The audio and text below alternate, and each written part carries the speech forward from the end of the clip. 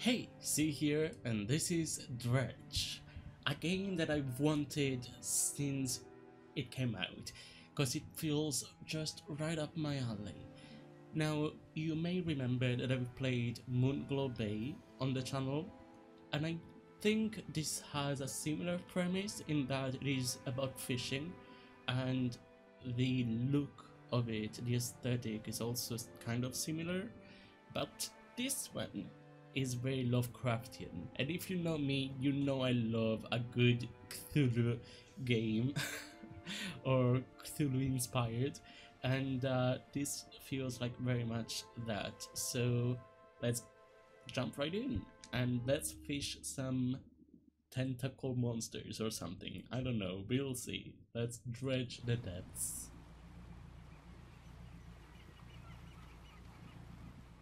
Oh, this looks gorgeous already. Job listing, angler wanted. Okay, I take it back. It's not like Moonglow Bay, the aesthetic. This is beautiful.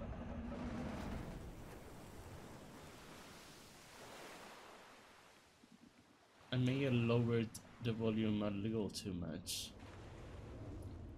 This is gorgeous.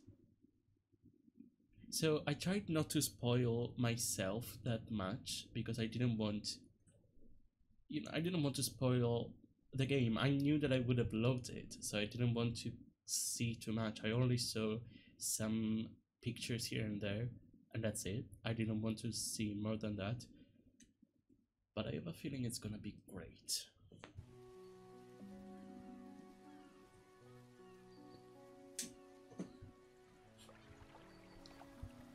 The morning light fills your eyes, and you try to sit upright. You're lying on the cold, wet dock where you collapsed the night before.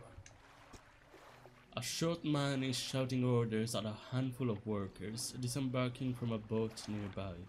The man notices you. Welcome to Greater Marrow. I must say, quite a dramatic first impression. I see you already introduced yourself to the Jagged Rocks along the bay. Did you not see the lighthouse? It was shining right at you. Ah, well, I'm glad to see our new fishermen upright and breathing. Your boat, your boat was hopelessly damaged, but I've had a few of the locals move your things to one of our old vessels. We'll catch up later to discuss more details. I'll let you get out there to catch some fish. See if you can feel your cargo while you get your bearings in the light. Hmm. Finally, I don't suppose I need to say this, but get back by sundown before the fog rolls in. Keep a close eye on the time. It can really creep up on you. Okay. So you think this is why I thought it would look similar to Moonglow Bay? Because this kinda does look similar. Uh, but let's see that Y has an exclamation mark Pursuits. Let's check this out. Catch fish for the day. Okay, easy enough I think. Met the mayor of Greater Marrow, who sent me out to catch some fish and find my bearings. Seems nice enough. Warned me to be, to be back before nightfall though. Said something about fog. Bit dramatic. The mayor asked me to catch as many fish as I can, then head back to Greater Marrow. Okay, let's do that. Let's undock.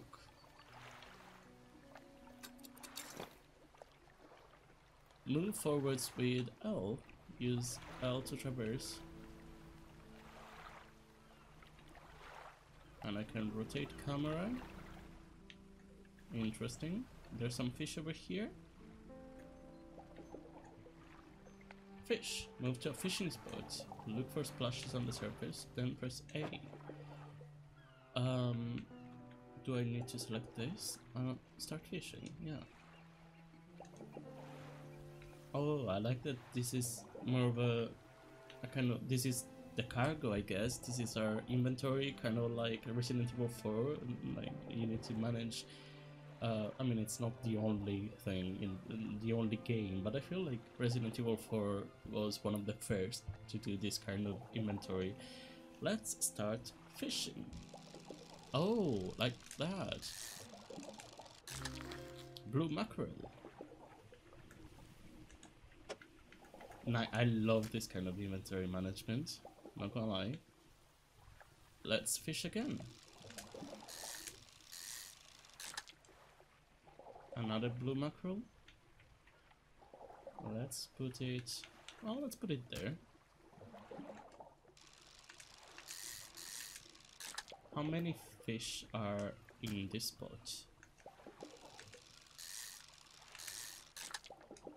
So many mackerels. This bay is okay. The, the, I was gonna say this bay has so many fish. is bountiful with fish, but there's no more. Not here. Let's go to the next one. This is so much easier to fish than in Moonglow Bay. Start fishing. A cod! Ooh, I like this shape. I do really like how the, this inventory management thing, I really like this. I mean, so far this is a really nice time. I don't know what the fuss is all about, you know, the with the... Oh, there's no more fish. Let's go over here. Time only advances when you're moving, fishing, or taking other specific actions. Interesting. So if I stay still, there's nothing. Shallow, you don't have the right equipment for this boat. Oh, interesting. So when is sundown exactly? I do see some like darker thing creeping on that. I guess it's not compass, it's like that is the sky. That um thing around that I don't know. I guess when that golden darker yellow thing that is twilight maybe? I don't know. We'll see. Fish. Actually, I want to see, what is that X? What does that do? Oh, that's our lights. Okay, so if we're in darkness, and what is LB? Lights. Oh, okay. Lights, foghorn, loud horn makes your presence known. Spyglass. Get a closer look, can identify fishing spots at a distance. Uh -huh that might be useful right now. Uh-huh, interesting, interesting. That's some more cod. That's some more mackerel. Okay, nice, nice. So, is that where I came from? I guess so, yeah. No, that, that's where I came from. Which one? Which one? I guess that's where it came from, yeah. Uh, let's fish.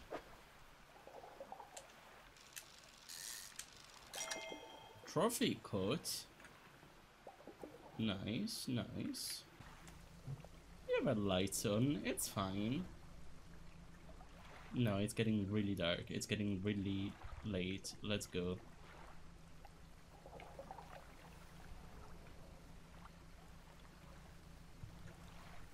Exposure to fog and other things increases your panic. That is so interesting. Red lights and sleeping will reduce it. I love that. I love a panic meter in a game, but a panic meter in a fishing game. You know, the, usually fishing games are all about cozy, wholesome mechanics and stuff. But a panic, I love it, and I love the way it's just an eye looking around. Panics. It's so beautiful. I'm already in love with this. Oh, encyclopedia. Huh? Interesting. So there's... I can already see... Oh, I can't wait to find aberrations. This game is already... So, uh, I can't wait to explore more in this game. I only just started and I already can't wait. You look lost, fisherman. You after somewhere to sell your catch? Greater Marrow is on the west side of the bay. Keep an eye out on the lighthouse here. Wouldn't want to lose sight of it for too long. This is Little Marrow, so I need to go back the other way. I mean, I thought anywhere would do. Because, like, we just came here, so do we have a place to stay? I don't know. You enter a brightly lit shop. It's packed with antiques, the shelves full of jewelry and other baubles. An old man peers at you over silver spectacles. Hello? Is that... No. I don't believe we met. Forgive me, my eyes aren't what they used to be. I specialize in antiques and jewelry. I'll purchase any special trinkets you happen to have. Have you got anything nice with you today, perhaps? No, not really, I'm sorry. God, I cod would have been fantastic here, but I haven't found a cod plate. I guess we might find it on the way back, because we need to go back. My bad, it's almost midnight. Let's just let's just go. If I find a code in on the way, I'll I'll get it. Otherwise, I do want to see what the shine. Oh God, eyes! I see eyes. No, these are squids, I think. I'm so panicked. It's okay. It's okay. Don't worry about it. We're, we're there. We arrived. You step onto the dock at Greater Marrow. The mayor is waiting nearby. Ah, I see you've returned in one piece. Very good. Before you head off to town, we should discuss the matter of your boat. As I mentioned earlier, your old boat was too badly damaged to be repaired. However, I'm more than happy to sell you that replacement vessel, yours to own. I understand you may not have the necessary funds on hand, so we consider it a loan, but I want to make this easy for you. Until your debt is repaid, a tiny portion of your fish sales will go towards paying it off. A small amount of interest will go towards improving the town. So to recap, you need to sell fish to the local market, paying off your debt, and in turn keeping the population fed and satisfied. Understand? Of course, it's all up to me to improve the town.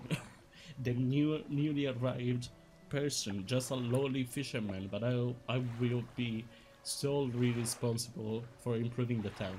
Of, of course.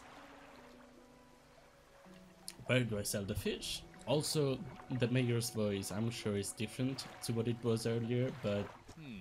don't worry about it. Our local fishmonger will appraise and purchase what you catch. He's open all hours. Off you go then. Sell those fish while they're still fresh. Let's go to the fishmonger. You enter a squalid shack on the fringe of the marketplace. The familiar smell of fish fills the air. Flies buzz haphazardly, haphazardly around a downcast man behind the counter. You're the new fisherman, eh? Surprised they found a new one so fast. What happened to the other one? He... It takes a certain type of person to last out there. It's not a life for everyone. Anyway, to business. I'll pay for your fish. Bigger and fresher means more money. Some species are just worth more too.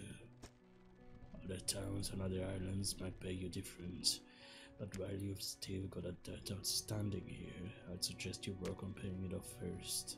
Hmm. So let's see what you got. I got a fair amount actually. So, I mean, I don't have a reason to not just give it all. To not just sell it all, so let's sell all fish. So, wait, that adjusted was only 18? Why? Why did I only give 18? What if I want to give it all? I'd like to pay off some of my debt. Of course, how much would you like to repay? All of it. I have enough. Fantastic. Now, what else can I do for you? So the fun thing about all of this is that I'm planning to run Call of Cthulhu someday when, you know, um, mostly it's when people are available. Scheduling, as always, in tabletop RPGs is the worst enemy. but um, I'm planning to run Call of Cthulhu, and the first, the first thing that I want to run is actually on a lighthouse island. So now I'm just getting inspiration from what I can do. What is this? Shallow. Okay, I can't. Let's go over here, and there should be a dock. Hopefully, yeah. I mean, if anything, I can just rest here instead of having to go back into town. But ruined man and work ruined mansion and workshop is this this is exact remember the one shot I was talking about? This is kind of exactly like it. I uh, wonder if they got inspiration from that because I feel okay never uh, I don't want to talk more about it just in case any of the of my future players are watching.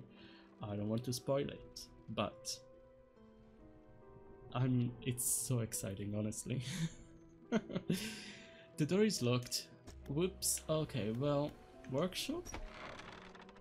The workshop looks as though it hasn't been used in decades. Go inside. It's locked. Okay okay interesting. Let's rest